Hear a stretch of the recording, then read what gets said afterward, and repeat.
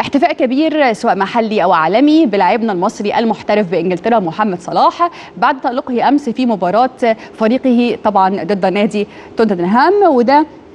اللي شفتوه امبارح الحقيقه صلاح هبه مصر في الدوري الانجليزي وصوره لصلاح وايضا اثناء آه، المباراه